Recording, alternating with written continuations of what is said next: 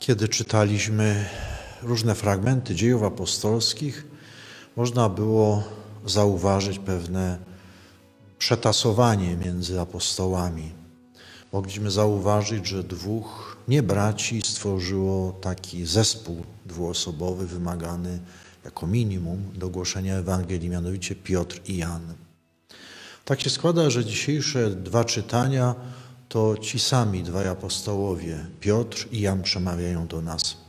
Piotr przemawia ze strony dziejów apostolskich, przemówieniu, a święty Jan kieruje do nas list.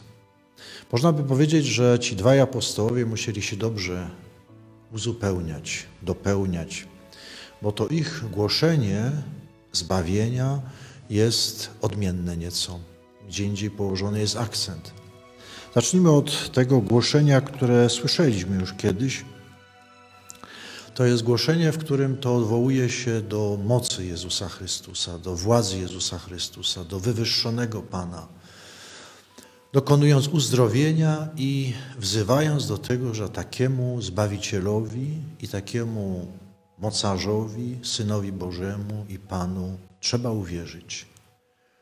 Tak jak przywołuje dziś fragment y, z Habakuka o tym kamieniu odrzuconym, który stał się kamieniem węgielnym, narożnym, bardzo ważnym, tak też w tym głoszeniu zawsze jest wezwanie do tego, że trzeba uwierzyć. Niech będzie wiadomo Wam wszystkim i całemu ludowi Izraela, że w imię Jezusa Chrystusa Nazarejczyka, którego Wy ukrzyżowaliście, a którego Bóg wskrzesił z martwych, że dzięki niemu ten człowiek stanął przed wami zdrowym.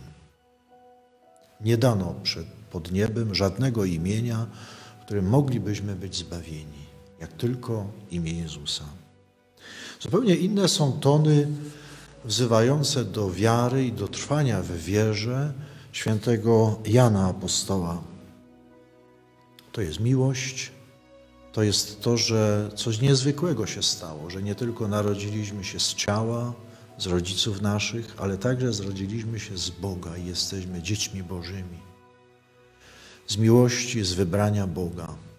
I to jest wielki skarb, że to z wybrania Bożego należymy do tych, którzy poznali takiego Boga, poznali takiego Zbawiciela, uwierzyli i przez akt wiary stali się rzeczywiście dziećmi Bożymi.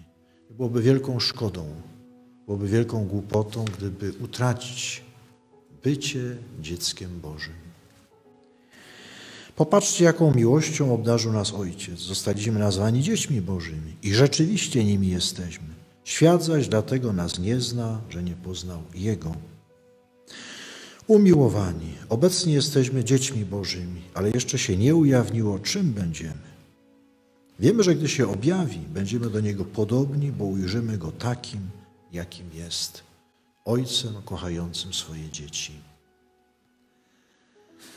Dziękujmy Bogu dziś za to, że tak różnorodne jest głoszenie dobrej nowiny, że tak bardzo zróżnicowane jest to nauczanie Kościoła odwołujące się do miłości Boga i odwołujące się do decyzji, rozstrzygnięcia, pójścia zdecydowanie i konsekwentnie za Jezusem.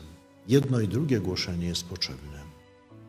Przyjmijmy Boże błogosławieństwo. Pan z wami.